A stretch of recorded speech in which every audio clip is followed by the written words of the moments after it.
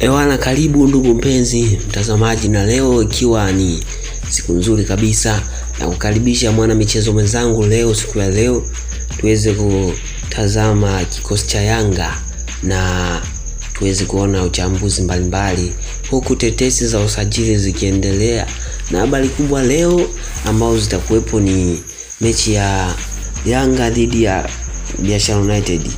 Na hapa tunapata kuona ni siku nzuri kabisa ambao ni tarehe 26 mwezi wa 12 ambapo leo ni Boxing, Be- Boxing Day tunasema hivyo, siku ya kufungua zawadi ambazo tulipewa tarehe 25. Sasa siku ya leo tuna mechi, yani mechi day ambapo tutakuwa na na pia Tanzania Prison atacheza e, na pia sasa tunapata kuwa na mechi kubwa, big mechi ni ya Yanga na Biashara. Lakini kabla hatujafika mbali, ni kujuze kwamba tunafahamu kama ni sasa hivi ni muda wa tetesi za usajili na wachezaji mbalimbali wameshafika katika vilabu na wengine bado dili zinaendelea.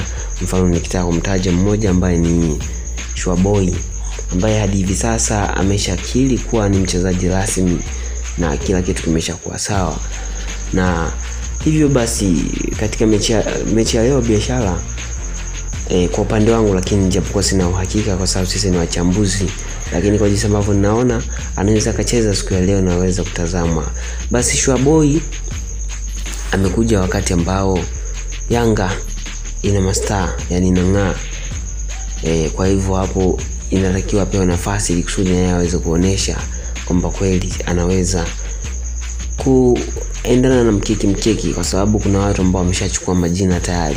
Mfano wakina Fiston Mayele tunapata kuwaona wameweka magoli mengi na kina Makambo ameweka magoli mengi hasa. E, tunakumbuka katika mechi ile iliyopita alifunga mabao matatu e, yeye peke katika mechi moja. Kwa hivyo ni kitu ambacho anatakiwa na yeye kufanya kitu ili aweze kuonekana kwamba yeye ni mtu fulani. Hivyo basi kina Shwaboy tutapata kuwaona katika kikosi cha leo e, katika kikosi cha leo ambapo sina uhakika na huenda basi akawa kama sabu kwa sababu ni, ni mchezaji rasmi hadi hivi sasa.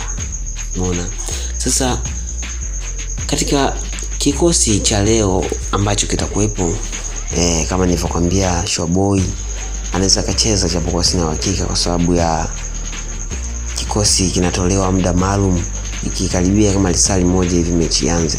Kwa hivyo sisi kwa vile tunafanya uchambuzi, basi kikosi cha siku zote tunakifahamu, usajili wa usajili wa, wa Yanga tunaofahamu, basi ni vitu ambavyo haviwezi kuna, kuna wachezaji ambao hawawezi kubadilika kwa sasa. Mfano ukitaja golikipa Dj Diala hawezi kusema kwamba hatacheza leo, ni lazima acheze kwa sababu ndiye golikipa ambaye amemsajili kwa msimu huu. Sasa katika mchezo wa leo golikipa atasimama Djigui Diarra na Dijuma atakuwepo kama beki beki, pia Mwamnyeto pale, wakina Dickson Job atakuwepo na kina Mkoko atakuwepo pia, Mloko atakuwepo na bang, na Bangala.